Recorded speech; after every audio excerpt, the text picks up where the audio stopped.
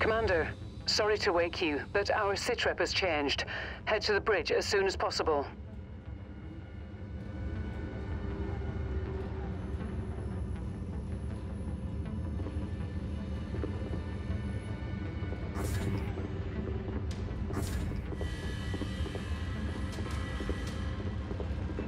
Commander, good to see you up.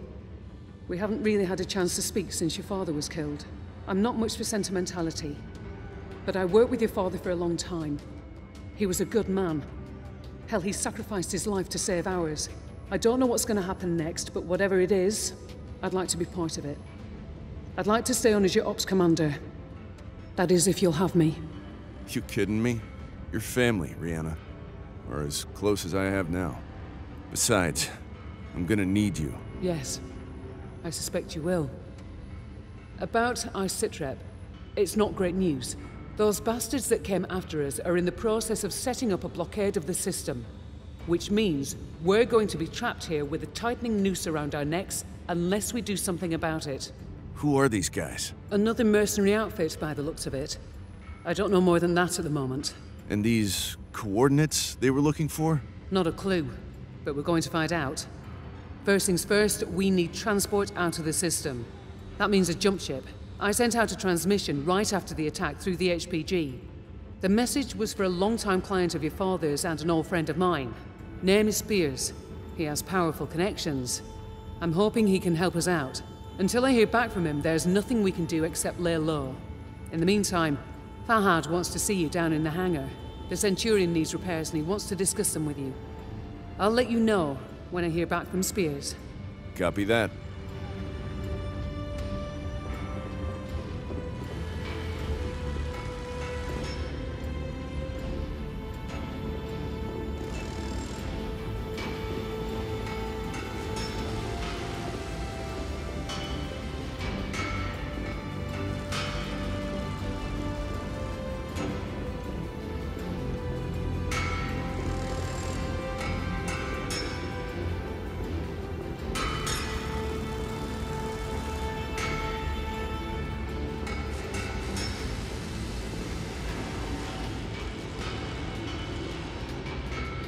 Hey, mate.